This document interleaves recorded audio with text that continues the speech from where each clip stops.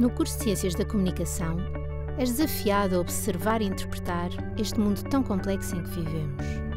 És desafiado a descobrir as mais efetivas formas de comunicar as tuas ideias, através da escrita, da oralidade, da imagem e das novas tecnologias.